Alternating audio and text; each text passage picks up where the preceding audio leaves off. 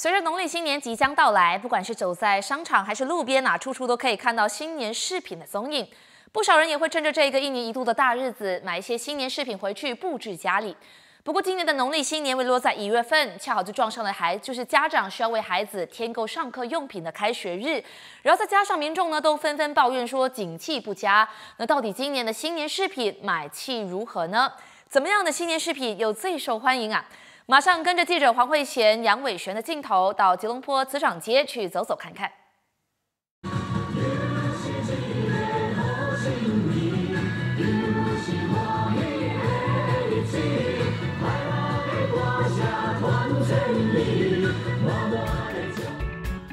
农历新年的脚步逼近，磁场街一带到处都张挂起了红彤彤的灯笼，色彩缤纷的年花，还有一罐罐的年饼也纷纷上架。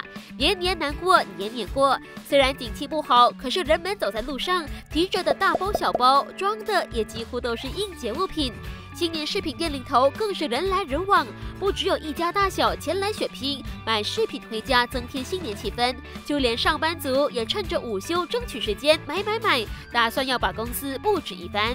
帮公司 decorate 啊，我们自己做了一点红包哦，然后现在我们就加一些灯笼啊、爆竹啊，就还有花咯，买一些老鼠的咯，有一些的我们就买可以 recycle 啊，嗯，明年可以再用哦。我们有团拜吗，啊，正我们每个正月都有个聚会的，就大家乡亲们啊聚会这样子咯。我们买的金老鼠是抽奖 lucky draw 的。来到今年，高高挂起的红灯笼依旧是民众心目中的大热门。不过，即将送走猪大哥，迎来鼠小弟，商家们也看准时机，趁着鼠年售卖一系列数之不尽的老鼠饰品，从吊饰、墙饰到公仔，应有尽有。吉利鼠和米奇鼠也都纷纷从卡通里跳出来，跑进新年饰品里头，向大家拜个早年。灯笼啊！好像有鼠鼠的东西，全部都可以卖了，纸牌啦，这个公仔啦，这样。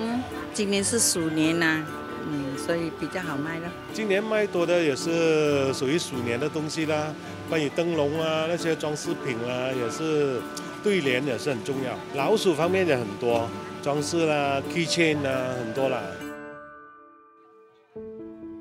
虽然近年来凡事都讲究创新和创意，但是走在店里不难发现，尽管店家售卖的新年饰品琳琅满目，可是大部分的饰品都还是继续走传统路线。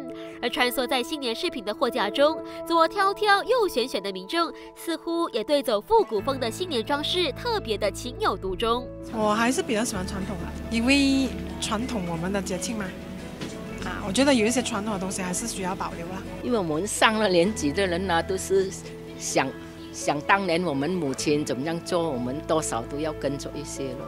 无论是传统或者创新的新年饰品，只要花点心思，其实都能够为这个佳节增添更多的新年气氛。还在抱怨年味一年比一年淡，那赶快动起手来，把家里头好好布置一番，创造出只属于你的新年氛围吧。